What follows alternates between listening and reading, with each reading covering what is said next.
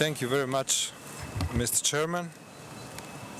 Esteemed Excellencies, distinguished guests, dear colleagues and friends, on behalf of Bosnia and Herzegovina, Communication Regulatory Agency of Bosnia and Herzegovina, and my own behalf, it's my great honor and pleasure to address you today at this most prestigious event.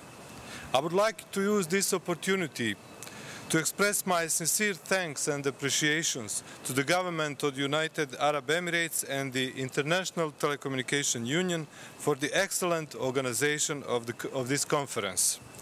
At the beginning, allow me to emphasize one of the primary goals of developing countries like Bosnia and Herzegovina regarding the topic of the conference.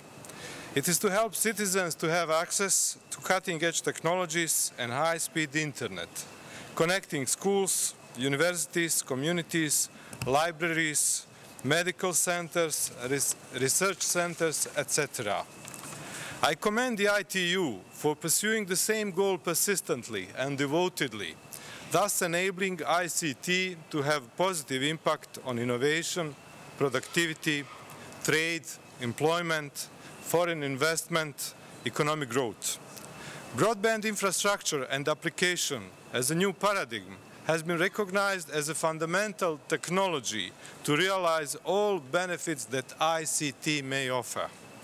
Yet there remains need to further raise awareness and understanding of the importance of broadband networks, services and applications for generating economic growth and for achieving social progress.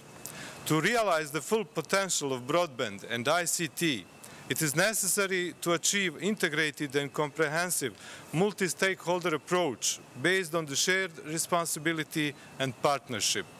The challenges are huge, but so are the opportunities.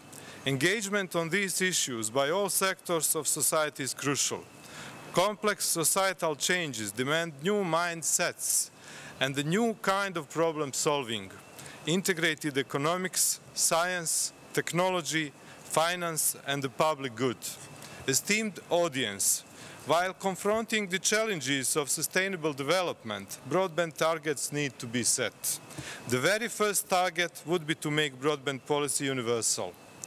Policy leadership provides a clear vision to identify opportunities, constraints and actions around the supply and demand of broadband.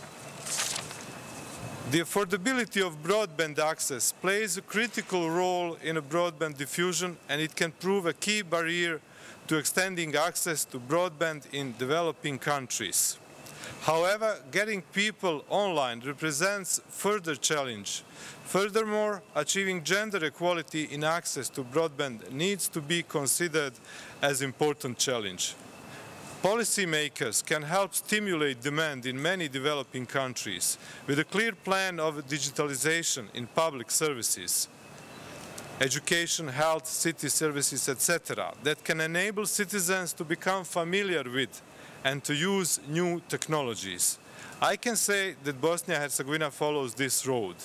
The penetration of internet in Bosnia and Herzegovina is nearly 60% uh, and 99% from that is broadband access. Thank you very much for your attention. Thank you.